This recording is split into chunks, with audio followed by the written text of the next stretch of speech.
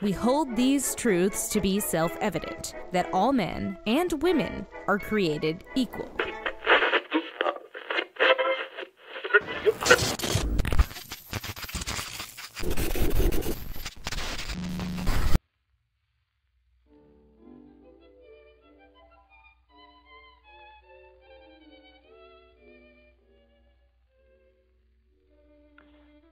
Following is an introduction to one of the many, many women who fought hard over 72 years before gaining the right to vote in 1920.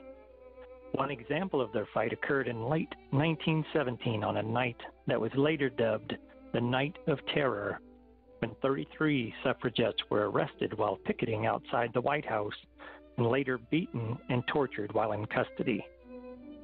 As news of this spread, it helped to galvanize public support of the suffrage movement. It wasn't the end of the struggle, though. Women have continued to strive for equal treatment over the last 100 years, and gains have been made thanks to women such as Eleanor Roosevelt, Gloria Steinem, and Ruth Bader Ginsburg. Not all men were against the women's suffrage movement. There were those that even marched with the women in support of their cause. Carrie Chapman Catt, probably the most famous Iowan associated with the women's suffrage movement, was born in 1859 in Wisconsin and grew up near Charles City, Iowa.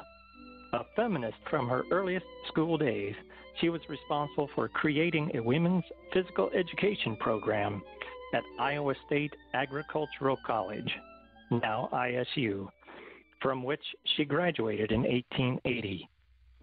She succeeded Susan B. Anthony as president of the National Woman Suffrage Association.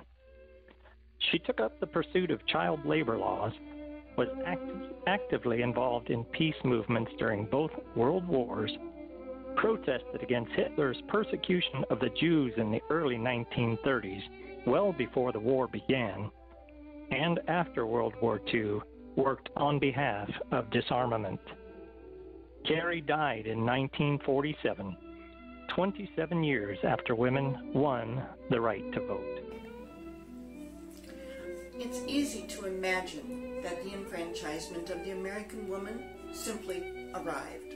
Like some evolutionary imperative, a natural step in the gradual march of progress? Or maybe as a gift bestowed by wise men upon their daughters, wives, and sisters. Or maybe women just asked politely, staged a few picturesque marches, hoisted a few picket signs, and without much drama, votes for women was achieved. That is not how it happened. The struggle for women's suffrage was long and bitter fight. Throughout the 19th and 20th centuries, women were condemned from the pulpit and the press for thinking about suffrage. They were spit upon and pelted with rotten eggs if they spoke about it, and they were jailed for demanding it. Finally, in 1918, the 19th Amendment was passed by the House of Representatives, but not by the Senate. I urged all suffragists to press on and lobby their senators. And through their hard work, a year later it passed the Senate. But we had our work cut out for us then. We had to get 33 fourths of the then 48 states to ratify the to ratify the amendment. That was 36 states, and our opponents only needed to get 13 states to defeat us. It is not to be underestimated how hard and how long women worked to get the vote. 16 states had already granted women the right to vote, so we turned our attention to those states that hadn't. With much hard work, in March of 1920, we had 35 of the required 36 states. and our opponents had six of their needed 13. We descended on Tennessee, where the governor was anti suffragist. But we had finally gotten President Wilson's backing because he was worried about his own reelection with so many states now allowing women to vote. I wrote to a dear friend four days before arriving in Tennessee. I told her, there is not a ghost of a chance of us winning the ratification in Tennessee. But upon arrival in Tennessee, I put on my best smile. The press surrounded me, and I said, Tennessee is the queen of the southern states and the leader in all progressive matters. Tennessee will rise to the occasion and use its decisive vote for women. The eyes of the country and the world are centered here in Nashville. I am telling you, never in the history of politics has there been such a force of evil. Strange men and men, groups of men, they just sprang up. Men we had never met before during battle. Men were promising money to legislators who would vote against the suffrage amendment. Opponents tried to sway lawmakers with alcohol, thinking that, well, a drunken legislator will be easier to manipulate. They even encouraged legislators to move, leave town, and they offered to pay their expenses. They flooded Tennessee with the most outrageous literature outright lies, innuendo, and more dangerous, near truths. And the race issue reared its ugly head. Opponents unpacked the old chestnuts.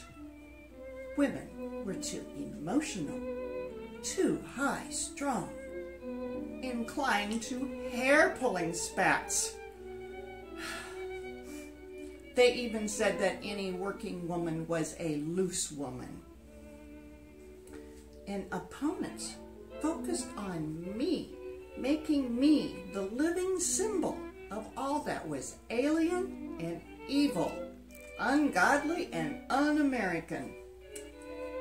I found myself vilified by distinguished clergymen and high minded men. Women were not to speak in public, so my suffrage meetings were called promiscuous gatherings. When the amendment finally came to a vote on August 18th, no one was sure who was going to win. We brought in one pro suffrage legislator from the hospital so he could vote. And we convinced another, who was headed home to be with a sick child, to turn away from the rail station and stay for the vote. But there was a young Republican who came to vote and he was wearing a red rose, and that signified that he was anti suffragette. But he was carrying a letter from his mother in his pocket. And the letter in part said, Hurrah! And vote for suffrage. Don't forget to be a good boy and help Mrs. Catt put rat in ratification. Well, unfortunately, when they were voting whether or not to table the motion, he voted with the anti suffragists, causing a tie. We thought all was lost. But then they did a final roll call vote and he voted with his mother and with us. We won by one vote. that vote is the emblem of your equality. Women of America, the guarantee of your liberty. That vote of yours has cost millions of dollars and thousands of lives of women women have suffered agony of soul which you never can comprehend, that you and your daughters might inherit political freedom. That vote has been costly. Prize it. The vote is power, a weapon of offense and defense, and a prayer. Use it intelligently, conscientiously, and prayerfully. Progress is calling you to make no pause. Vote. Carrie Chapman Catt fought for her right to vote. So honor her courage and exercise your right to vote regardless of your gender. Please make sure to view the stories of all three women we are presenting in this series.